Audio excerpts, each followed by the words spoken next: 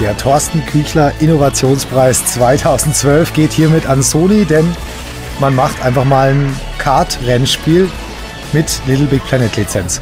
Das gab es noch nie sowas in der Art. Nee, auch so ein Rennspiel, bei dem man seine eigenen Strecken und, und Karts und Fahrer zusammenstöpseln kann, das gab es noch nie auf der ganzen Welt noch nicht. Auch nicht auf der PS3 und auch nicht von Sony und auch nicht von den gleichen Entwicklern.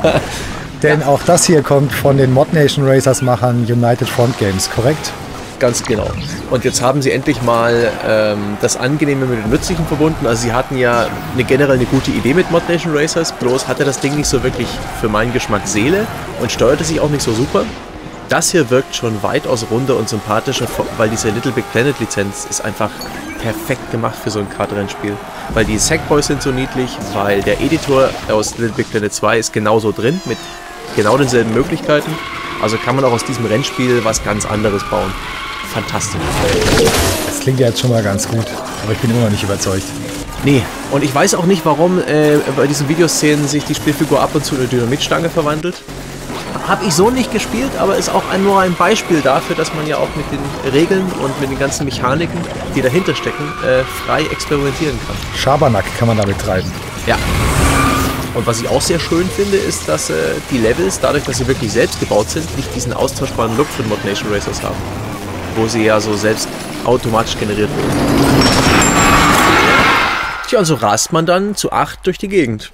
Auch im Splitscreen, auch online und es gibt auch einen Battle-Modus, sehen wir nachher. Und es ist alles genau in demselben Look wie Little Big Planet. Also auch mit diesen kleinen Planeten, mit so einem Weltraum-Hub.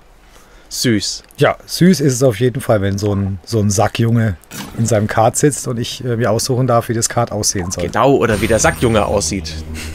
Und du kannst auch dieses Raumschiff, den Hintergrund anpassen mit der Zeit. Das wollten sie aber noch nicht zeigen.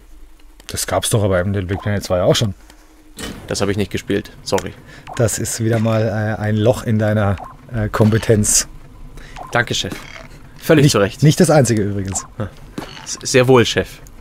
Kann ich denn eigentlich dann auch selber äh, Zeug in den Editor einspeisen? Also jetzt zum Beispiel Fotos von Mia oder so Sachen? Oder ist es wieder mal wegen Angst ich vor nehme Penissen es stark an. rausgenommen? Es, es sollte gehen. Cool. Das macht nämlich dann richtig Spaß. Und dann kann ich nämlich dein Gesicht zum Beispiel auf meinen Sack Jungen draufkleben. Ah, aber bei, mir kommt dann dein Gesicht äh, irgendwo in den Stoßfängerbereich. Und dann spielst du immer so ein Spielmodus, wo man die Autos rammen muss. Ja.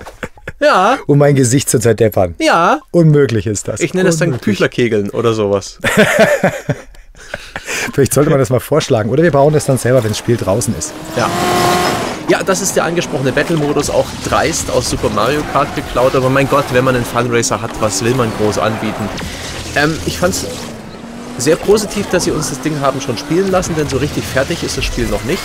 Ähm, sowohl Fahrphysik als auch Kollisionsabfrage und, und einige Mechanik im Hintergrund und Framerate sind mhm. noch lang nicht fertig, aber das ist alles, ähm, ja, das hat schon Hand und Fuß. Sie müssen noch viel Feintuning betreiben, aber für Genre-Fans und, und Freunde der kleinen Sackjungen gibt es eigentlich nichts, was dagegen spricht. Jetzt ist wahrscheinlich die Hälfte der Zuhörer gerade wieder aufgewacht. Aber ich muss sagen, Thorsten, äh, äh, dieses Video ist dann doch lustiger geworden, als ich dachte. Einzig, weil du mir das Wort Sackjunge nochmal ins Gedächtnis gerufen hast. Dafür danke.